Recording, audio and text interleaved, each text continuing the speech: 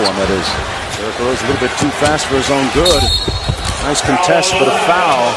Uh, Paul George as Paul George ran into the stanchion.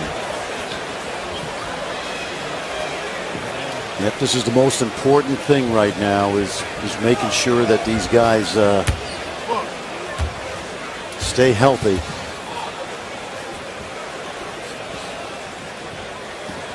Paul George uh, suffering what appears to be an injury. We're not going to speculate as to the extent of it right now as the athletic training staff will now tend to him.